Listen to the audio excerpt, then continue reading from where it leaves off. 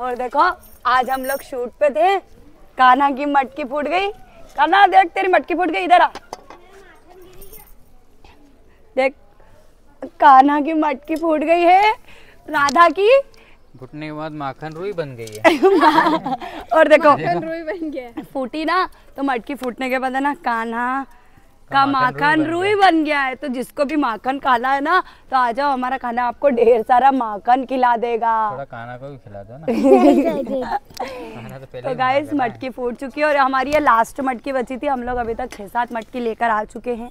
नहीं लाए तो ज़्यादा है छह सात इकट्ठी लाए थे तो उसमें सारी फोड़ दी हमने।